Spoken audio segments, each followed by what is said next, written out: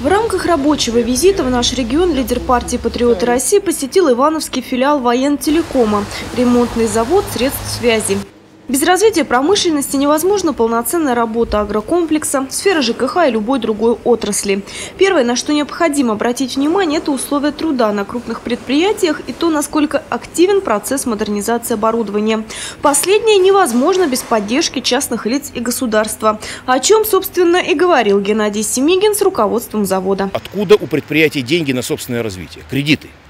Они не должны быть в такой процент, который на сегодняшний день, сегодня я говорил уже об этом, как минимум в два раза ниже должна быть процентная ставка, о чем только сейчас задумалось правительство. Вместе с Центральным банком пытаются понизить эту кредитную ставку для э, юридических лиц и в том числе для промышленности.